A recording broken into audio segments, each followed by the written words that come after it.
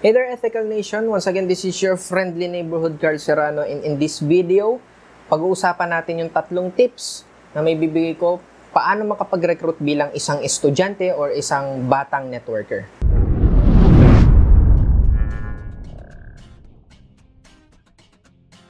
So, aminin man natin o hindi, talagang merong pros and cons na ang pagiging isang batang networker kasi wala kang authority.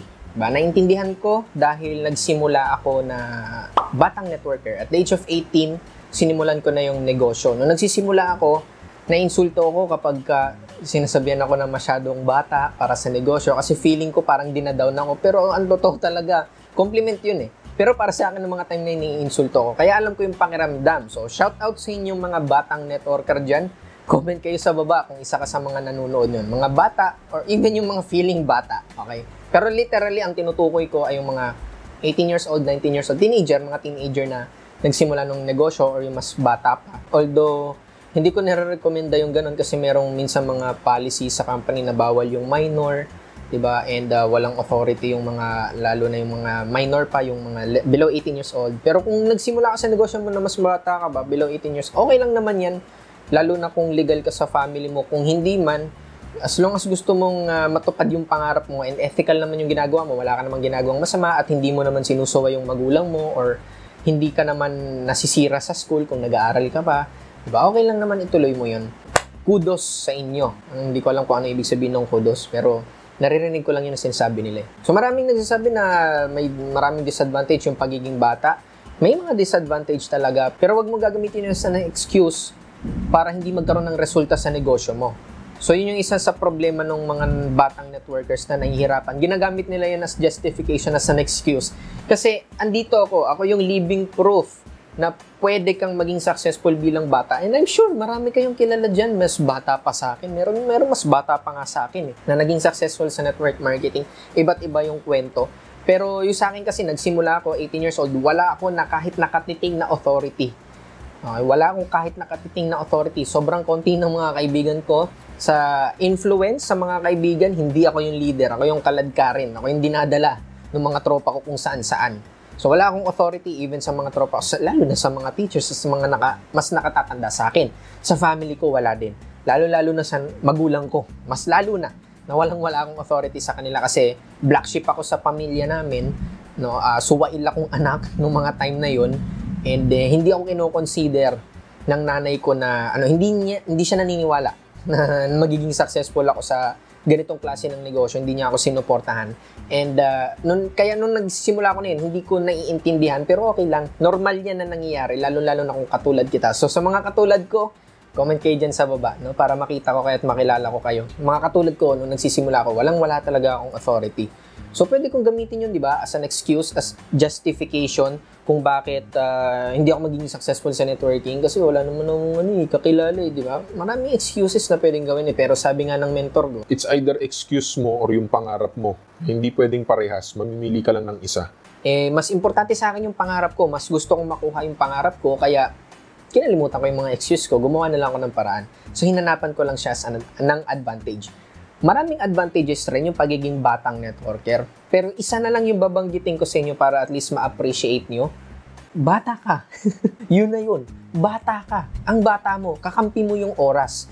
Okay, pero this doesn't mean na yung mga medyo may edad na sa inyong nanonood dyan na kalaban mo na yung oras. Hindi naman ganun. Ang pinupunto ko lang is yung advantage ng pagiging batang networker. Napakabata mo pa.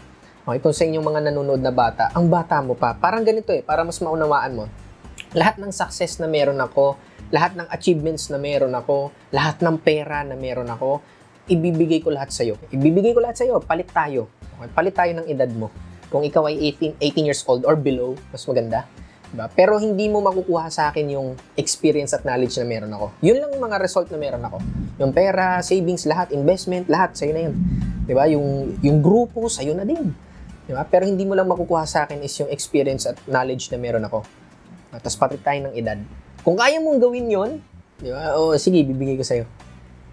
Kasi I'm sure, okay, I'm sure na kapag nangyari yon, mas bata ako magiging successful. As of today, I am 25, no? Itong itong buwan na ginagawa ko tong video na to is September. This is my birth month, September 2020. So sigurado ako Kung tayo nagpalit ng edad at the age of 18 ka, tapos ako ay ah, 25 palit tayo ng edad, tapos nasa akin yung experience at knowledge na meron ako, I'm sure by 8, 20 or 21, successful na ulit ako. And I'm sure pagdating sa'yo, inubos mo lang yung pera. wala ka pa rin mararating. Okay? Kasi wala naman sa'yo yung knowledge at experience na meron ako eh. Diba? So yun yung advantage na meron ka. Alam naman nating imposible na mangyari yun. Ah, magkapalit tayo. Pero I hope nagigets mo na yung point ko. Okay, nagigets mo na yung ibig kong sabihin, yung advantage na meron ka. Yan yung kakampi mo na hindi makukuha sa'yo ng kahit na sino. Ikaw lang. Ikaw lang yung mag-ano niyan. Ikaw lang yung yung kukuha niyan. Ikaw lang yung ibig ko sabihin ay kapag ginastify mo or gumamit ka ng mga excuses kasi bata ka tapos hindi mo na ginawa yung negosyo or hindi mo na tinuloy, o di problema mo na yon. ikaw, ikaw yung talo, hindi naman kami. So, I hope naiintindihan mo na kung gaano ka-importante, gaano ka kaswerte na bata pa lang namulat ka na sa industriya natin, sa industriya ng network marketing. Yan yung advantage na meron ako din kasi nagsimula ako ng at age of 18 And napakaswerte ng mga members ko nga na bata din na nagsimula na ginagawa kung ano yung tinuturo ko ng tuloy-tuloy. Kasi hindi naman sila abutin ng kasintagal ko. Uh, it took me almost 7 years. As of uh, today, I am 7, as of today, 2020, uh, September ng 2020, pa 7 years na ako sa industry ng network marketing. Kaya medyo matagal na din, pero marami sa mga members ko less than 2 years kasi as of today rin, eh, 2 years pa lang rin naman yung grupo ko ngayon, yung current grupo sa current company ko ngayon. Marami na sa kanilang kumikita ng malaki may mga mayayaman na meron pa mas mayaman kaysa sa akin. So, yun yung advantage na meron ka. So, I hope nagigets mo na at naiintindihan mo na yung bagay na meron ka. So, with that being said, mag-proceed na tayo sa tatlong tips na pwede mong gawin para makapag-recruit ka bilang estudyante or batang networker. So, first tip na may bibigay ko sa iyo ay sell to recruit. Okay, sell to recruit, hindi recruit to recruit. Majority kasi ng mga networker ang ginagawa is recruit to recruit. Ibig sabihin, mag invite ako ng prospect, pepresentahan ko ng business, re-recruitin ko. Para siya, ganun din ang gagawin niya. Okay, okay lang naman yun, pero mapapansin mo, hindi siya effective para sa lahat. Diba? Yan rin yung na-realize ko later on. Diba? Sa, ano ko, sa experience ko bilang isang ethical networker. Na, kaya maraming networkers ang nababurn out. Okay, nababurn out, na-stress agad kasi nga hindi nagkakaresulta sa ganung paraan. Malaki kasi sa market yung napapalampas mo kapag ganun yung strategy na ginagawa mo kasi as of today, unfortunately, pangit pa rin yung tingin ng mga tao sa network marketing, di ba? Di pa rin maganda kapag sinabi mong networking. Mas maraming tao yung ayaw sa ganyan. Halos lahat ng tao ayaw sa ganyan. Sa Pilipinas pa lang, negative sila sa ganyan. Okay, hindi ibig sabihin nun eh, hindi na sila sasali kahit kailan na hindi yun ang point ko doon sinasabi ko lang, pangit pa rin yung sa pandinig ng tao ang network marketing. Kaya napaka-importante na i-apply mo kung ano ito yung tinuturo ko sa inyo na sell to recruit. So instead of recruit to recruit, ang gagawin mo ay magbebenta ka lang muna ng products. Mas madaling approach yung ganung paraan kaysa naman yung bigla mo na lang silang re-recruitin tapos magbibilog-bilog ka. I'm sure kung na-experience mo na na makapag-present sa napakaraming tao ng ganung pamamaraan, uh, I'm sure na sobrang dami na nag-reject sa'yo. Okay, naintindihan kita kasi ganyan rin naman ako. Pero kapag sell to recruit is which is yung inuuna mo muna yung product, 'di ba? Mas madaling i-approach sa lahat. So for example, sa mga kaibigan mo, meron kang kaibigan na problemado sa pimples. Halimbawa ganun. Tapos meron kayong product na nakakatulong sa ganun. Pwede ibenta sa kanya yun. Pwede mo try tong product na to na wala ka nang ibang ine-explain na kung ano-anong choba. Product to ng company namin. We are the best. We are number one. Diba? Kita mo tong successful appliance. Hindi na ganon. Okay, hindi na ganon. Product lang mismo. Ay, meron ako nakita magandang product. Try mo to. Magkano ba yan? Oh, halimbawa, 250 pesos. Kung ayaw niya, diwag. Ang mahal naman eh. Di ayaw niya, diwag. Di sa iba mo ibenta. Ganun lang ng mga simple yun eh. Hindi mo kailangan dramahan yun eh.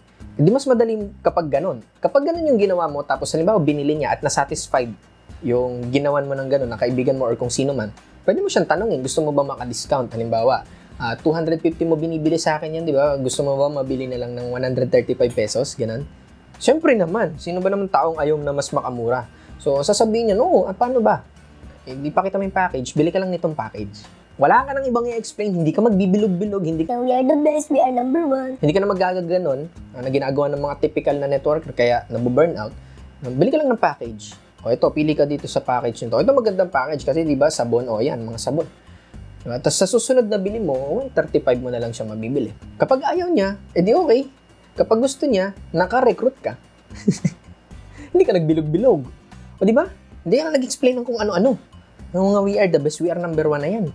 Mas madali kapag ka ganun. Kung ayaw naman niya, okay lang, nakabenta ka pa din bibili at bibili pa rin siya sa'yo kasi satisfied naman siya. Ah, di ba? Mas madali kapag gaganon. And pwede mo rin siyang gawin sa mga taong mas may authority sa'yo. Mga kakilala mo, mas nakatatanda. Alimbawa, sa mga kakilala mo, meron kayong product na nakakatulong sa diabetic. Sa mga kakilala mo na tito-tita mo, ninong-ninang mo, teacher mo, or kung sino man mas nakatatanda sa may authority na alam mong diabetic, pwede mong i-share yung product. Pwede nyo po itong subukan. So, ang importante pagdating dun sa part na yan, importante alam mo yung product mo. Kaya importante inaaral mo yan. Itanong mo dun sa mga uplines mo or kung kanino man yung mga may, may product knowledge. Itanong mo sa kanila yung frequently asked question pagdating dun sa product na yun para mas madali mo siyang ano. Kasi usually kapag ka yung ginawa mo, di ba? Para kasing ang tingin ng mga tao sa ganyan gamot, which is hindi naman talaga gamot.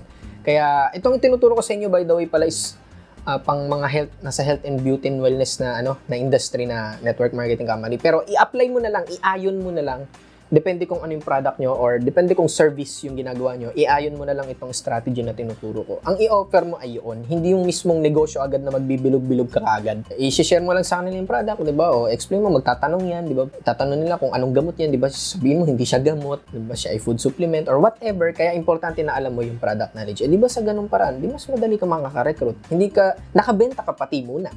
Hindi yung basta ni-reject ka na lang. Ay, ayaw ko niyan, scam yan.